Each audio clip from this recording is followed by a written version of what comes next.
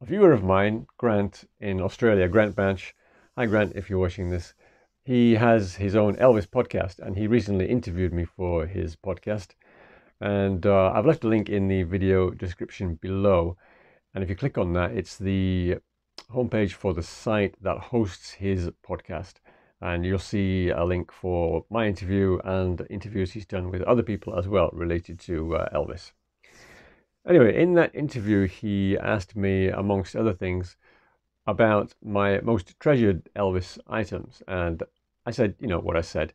But later I remembered one other album which I forgot to mention, and I'm going to show you that album at the end of this video.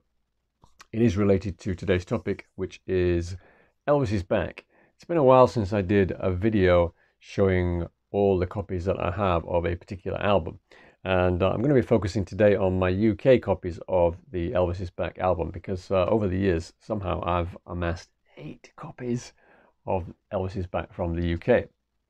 So I'm going to go in reverse order, the uh, most recent one first, which is this one here from 1977.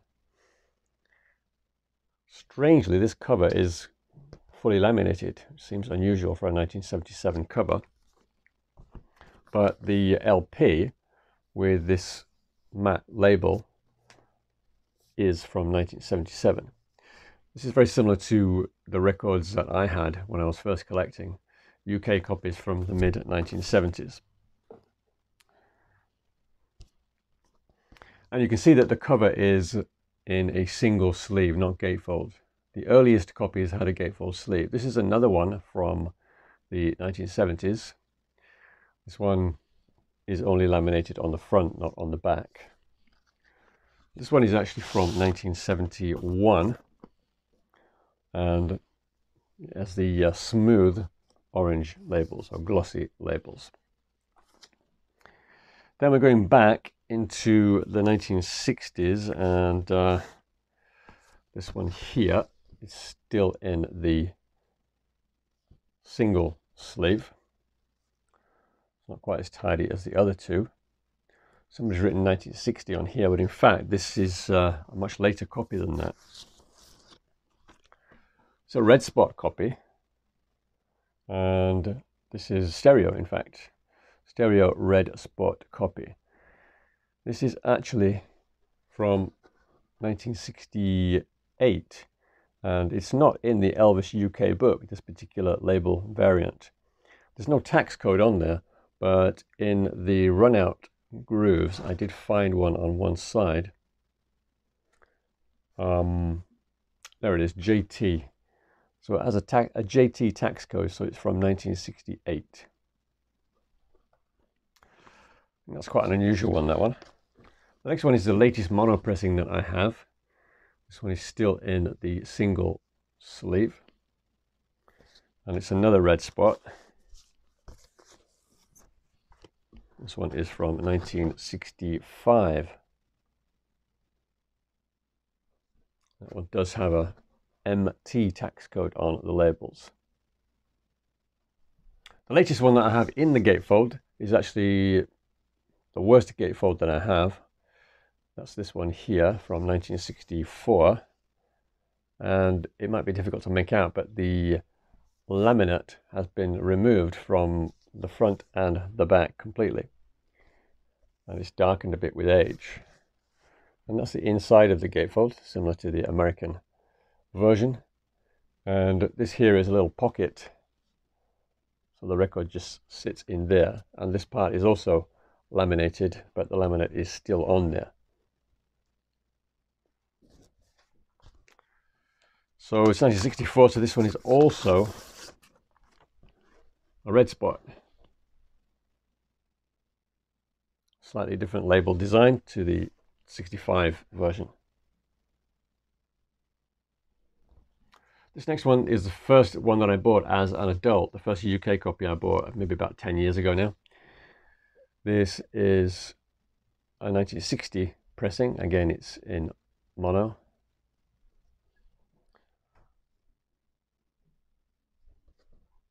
Much nicer cover than the one from 64.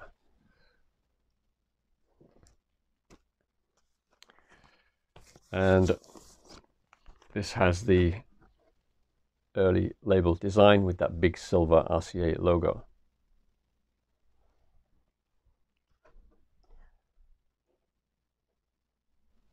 The next copy that I have is another mono one, and I bought this one in Japan as an upgrade to the one we just looked at.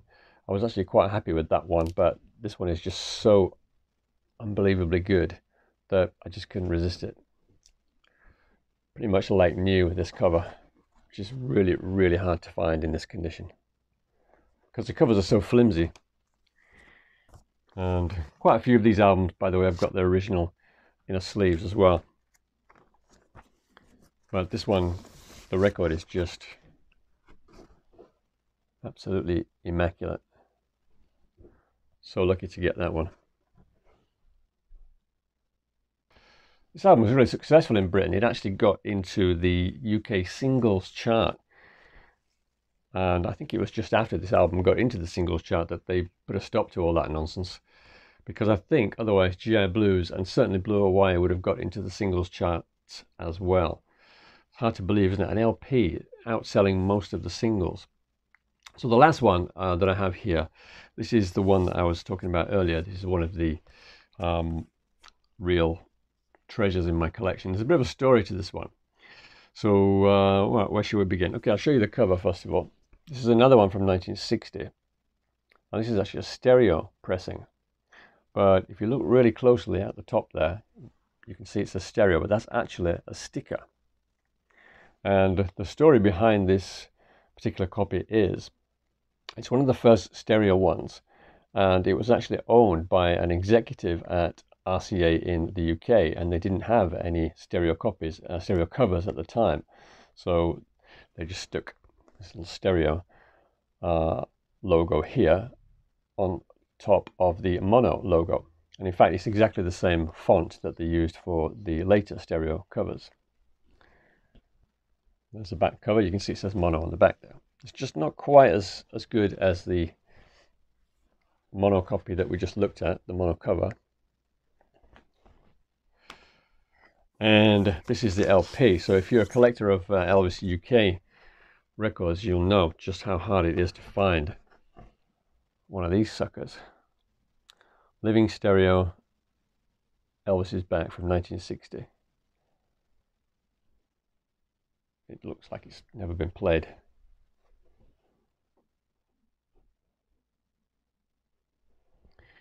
And uh, just to round things off, it does actually have its original inner sleeve as well. Somebody's written some of the track timings on the back and they've even put number two next to side A track three, which is the girl of my best friend. And that might refer to the chart position of that particular single because Mess of Blues and the girl of my best friend reached number two in the UK while we were waiting for It's Now or Never, which was delayed. And uh, just to wrap things up, I'll show you a couple of other related releases. So this is that single, The Girl of My Best Friend and A Mess of Blues. And I also have a later copy with that small RCA logo. So this one, uh, it's got a KT tax code, so I guess that's about 65, 66. Very hard to find these later pressings with the small logo. So I do collect them when I can find them.